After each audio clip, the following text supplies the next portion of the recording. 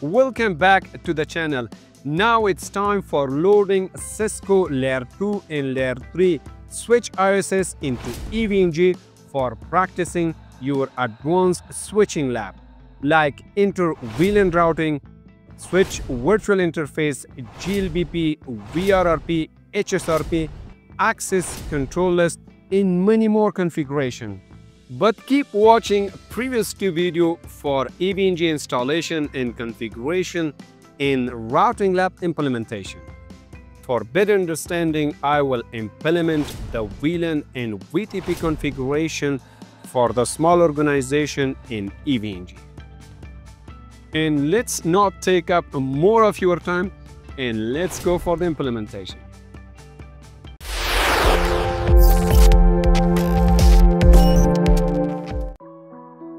In this video, we will cover First, which Cisco switch model are supported in EVE-NG?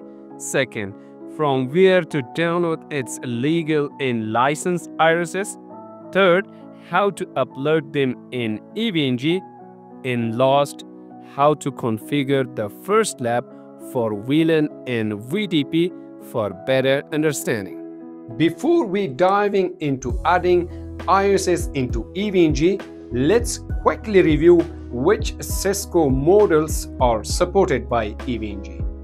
Cisco Catalyst 2950 used for learning basic switching concept, 2960 for smaller network enterprise, and 3560 used supporting layer 3 functionality and layer 2 switching, and 3750 a more advanced model with a stackwise technology and 65,000 high-end enterprise-grade switches in Cisco Nexus 1000V used for virtualized switch in data center.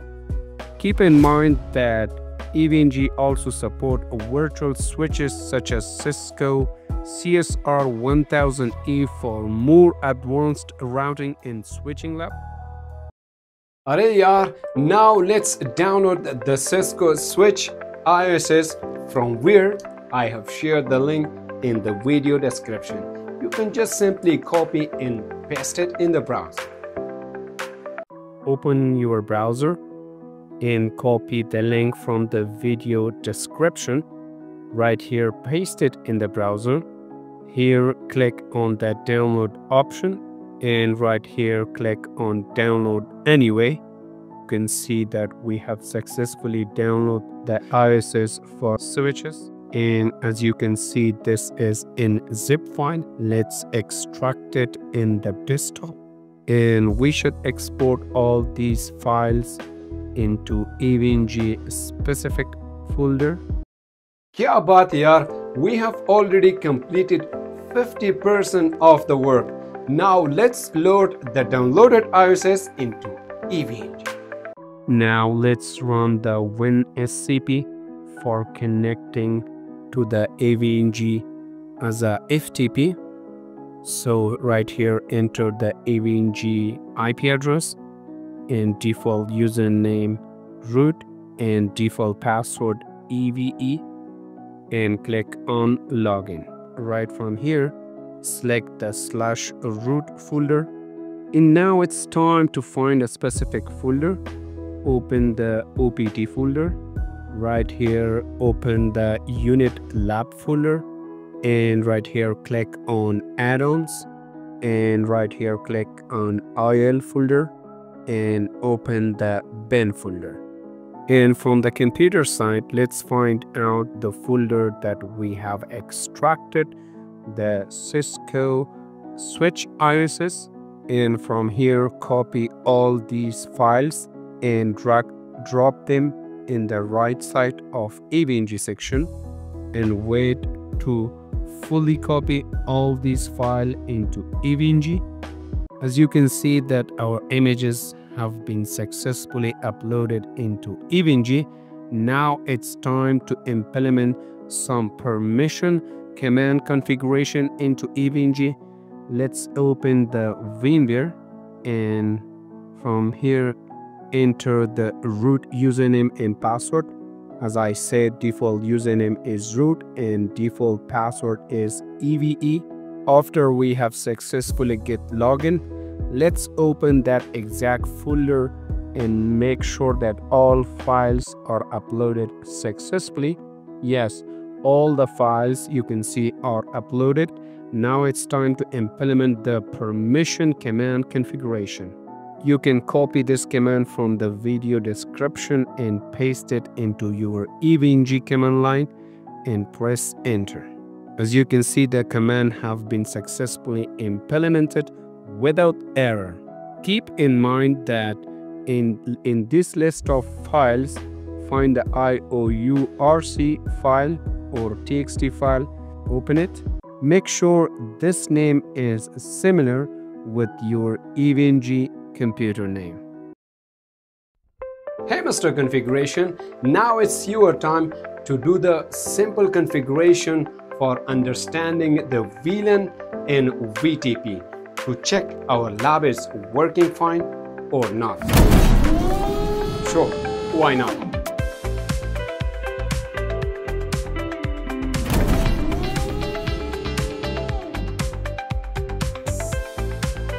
Open the browser and type the EVE-NG IP address and right here enter the default EVE-NG web browser access admin and default password EVE and click on sign in. Right here, as you can see, these are the list of pre-configured lab. And now let's click on this add new lab. And right here, enter the name and lab description and click on save. And now it's time to add our switches. Click on the main screen and click on add nodes and drag down the list and find out the Cisco IOL IOL section. Right from here, find out and select this image. And from the icon section, select layer 3 switch icon and enter a name for the switch, main switch, and click on save. So we have added our main switch. Now let's add three other switches. Click on the main screen, select add node and from the list find Cisco IOL section. From the image section find out and select this image and enter three number of node and enter a name of switch and from the icon list find out the layer 2 switch icon and click on save. And now let's connect all the switches each together with the main switch. And as you can see we have successfully connected all the switches. Let's select all of them and click on start to start all the switches at the same time. And now let's run main switch CLI or command line. Double click on it. And right here click on this option. You can see we have successfully connected with the main switch command line. Right here I have write all the configuration command in the notepad and you can download it from the link from the video description. Let me explain this command and you can just copy and paste it. Now it's the configuration for main switch. The first section shows the enter into the configuration mode and enter a name. The second pad shows VTP configuration in the third section showing adding two VLANs with their names. In the fourth section shows configuring interface as a trunk port. And lastly, we can copying the configuration into the Cisco memory. And now let's copy all the configurations step by step into the main switch command line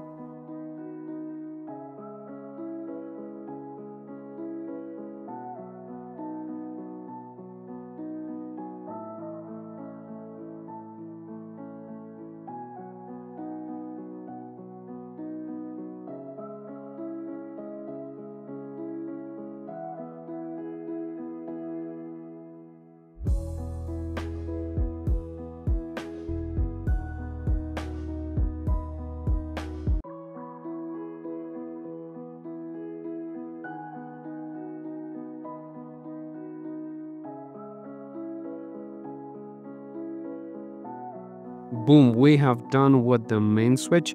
Now let's paste all the switch 2 related configuration. Double click on switch 2 and click open SSH. As you can see, these are the switch 2 configuration. Let's copy all of them at the same time and paste it into the command line. Boom, we have done with switch 2 and now let's open or connect with the switch 3 command line. And as you can see, this is a switch a 3 configuration. Let's copy all this configuration and paste it in switch 3 command line.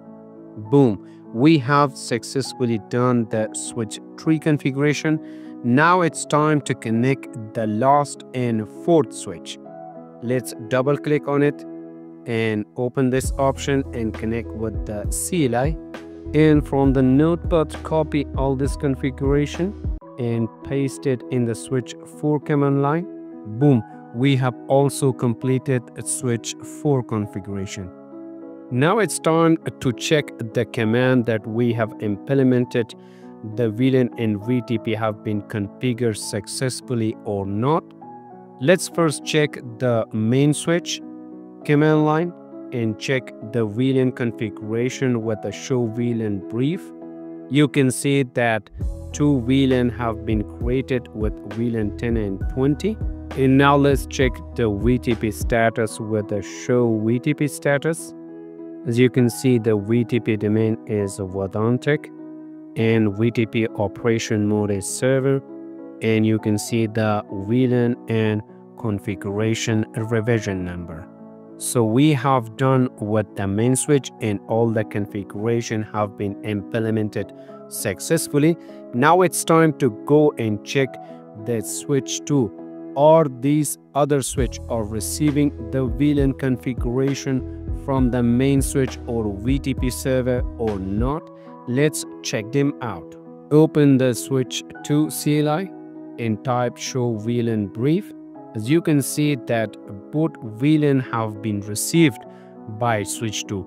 It means that we have successfully configured all the command. Also, let's check the VTP status. As you can see, the VTP domain is Vedantic and VTP operation mode is client and with configuration revision number and number of VLAN. Now it's time to check the configuration with switch 3 as you can see that both VLAN have been received by switch 3 and let's check the VTP status. As you can see the VTP domain is Vedantic and VTP operation mode is client and this switch also receiving the same VLAN from the VTP server switch. Let's do the same command check for switch 4.